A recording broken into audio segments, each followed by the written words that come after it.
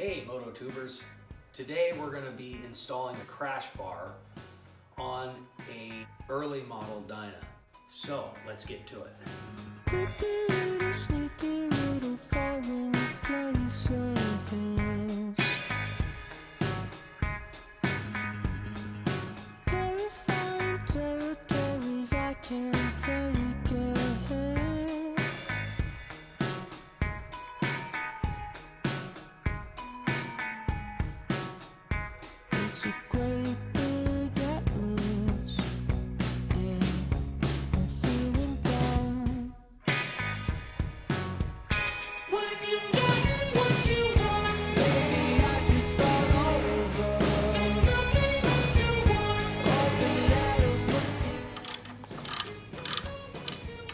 Sometimes these threads get rusted when there's nothing in them, so it's good to chase them with the thread chaser.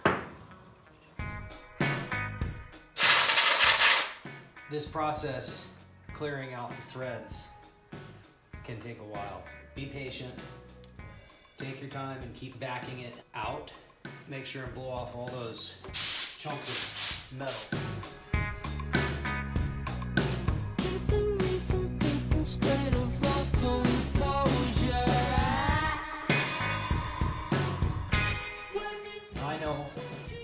A tool that is like a socket that goes on the back of these taps. And I do not have that set. Snap-on has a real good set.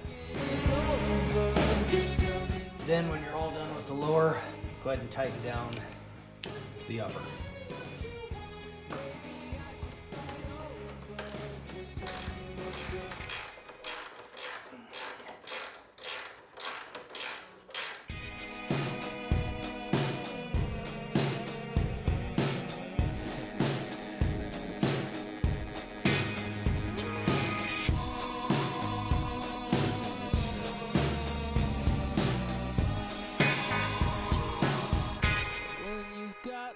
是我